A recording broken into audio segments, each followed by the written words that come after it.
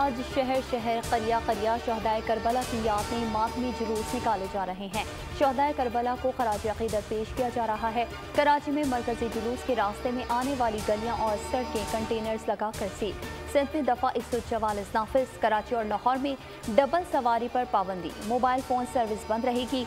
इस्लामाबाद के पी के में भी आशूरा तक मोबाइल फ़ोन सर्विस बंद रहेगी। लैंडलाइन वाईफाई पर इंटरनेट सर्विस बहाल रहेगी। जगह जगह पुलिस और रेंजर्स अहलकार तैनात आज़ादारों के लिए दूध और पानी की सबीरों के अलावा नज़र न्याज का भी अहतमाम। नवे और दसवें मुहर्रम को पंजाब भर में तूफ़ानी बारिशों की पेश गोई इंतजामिया को हिफाजती तदाबीर इख्तियार करने की हिदायत।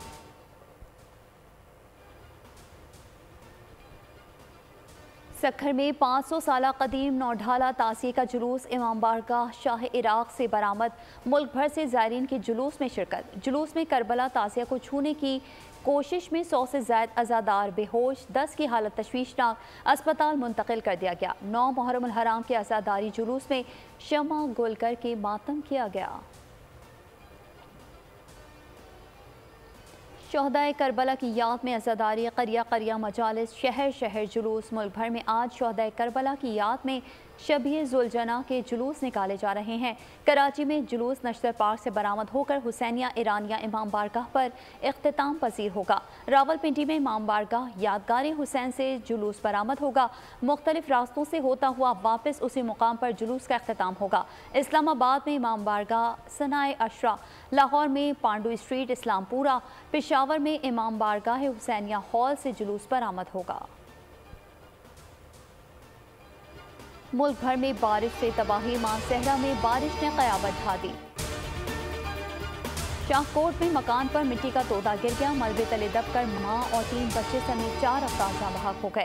लाहौर में सुबह से मूसलाधार बारिश, सड़कों पर पानी जमा। एक सौ सत्तानवे मिलीमीटर बारिश रिकॉर्ड की गई।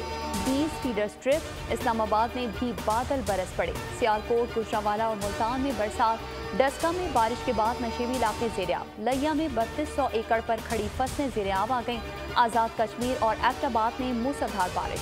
आबादियों में पानी दाखिल, मुल्क भर में आज भी बादल बरसने का इम्कान। बलूचिस्तान में मानसून बारिशों का सिलसिला जारी। बोलान में पाँच रोज बाद पिंचरा हिल के मुकाम पर पानी का बहाव कम होने के बाद शाहरा पर ट्रैफ़िक आर्जी तौर पर बहाल कर दिया गया। कोयटा और गिरदोनवा में तेज हवाओं और गरज चमक के साथ मूसलाधार बारिश।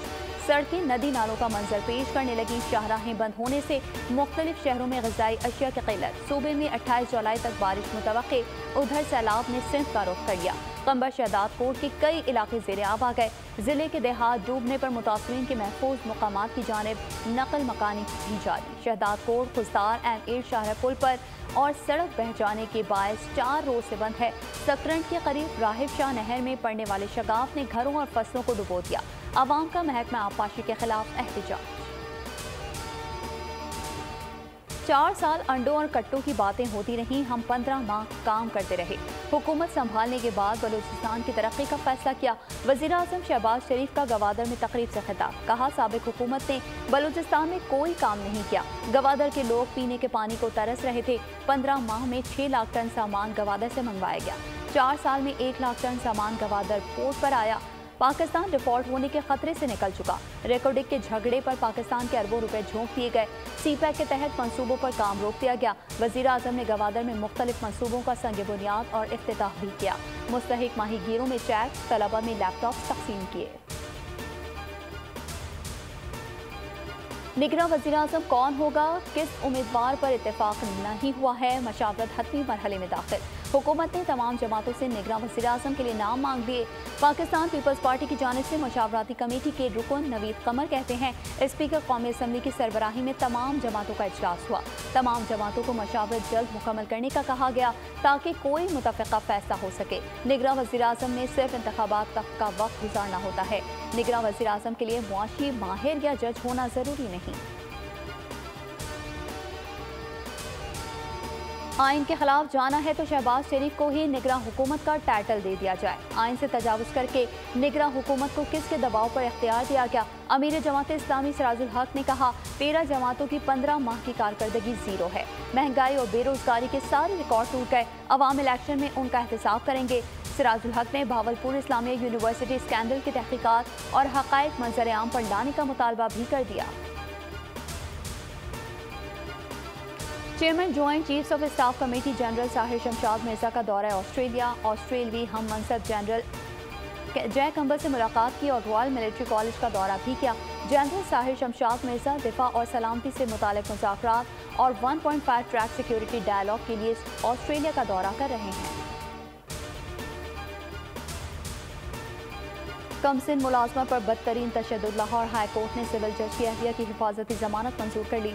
जस्टिस फारूक हैदर ने सुमैया आसिम की हिफाजती जमानत की दरख्वास्त पर समाप्त की यकम अगस्त तक हिफाजती जमानत मंजूर कर ली और गिरफ़्तार करने से रोक दिया। उनके खिलाफ इस्लामाबाद के पुलिस स्टेशन में मुकदमा दर्ज है। जनरल अस्पताल के डॉक्टर्स का कहना है कि रिजवाना के जख्मों में बेहतरी आ रही है। बच्ची इस वक्त आईसीयू में है और हालत खतरे से बाहर है। उधर सबक विफाकी वज़ीर फैसल वाफ्ता का मुतासर बच्ची के इंसाफ के लिए कानूनी जंग लड़ने का ऐलान। कहा केस को मनतकी अंजाम तक पहुँचाने के लिए जहाँ तक जाना पड़ा जाऊँगा। सुप्रीम कोर्ट ने फौजी अदालतों में आम शहरियों के ट्रायल के खिलाफ केस समात के लिए मुकर कर दिया।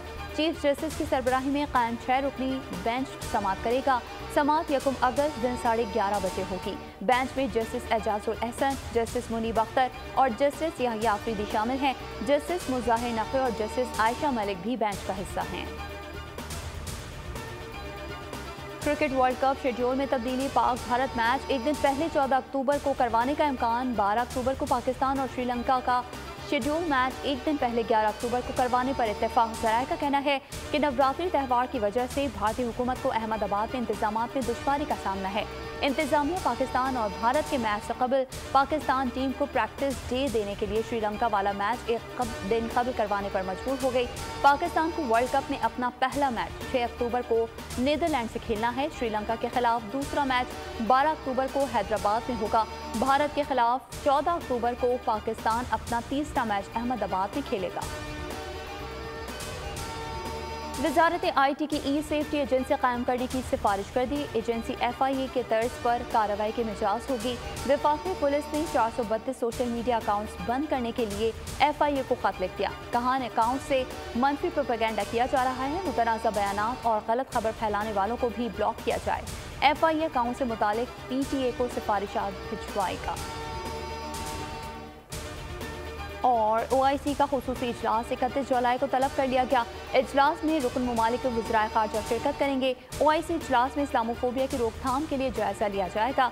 स्वीडन, डेनमार्क में कुरान पाक की बेहरमती के वाकत पर तबादला ख्याल होगा। इजलास सऊदी अरब और इराक की दरख्वास्त पर बुलाया गया है।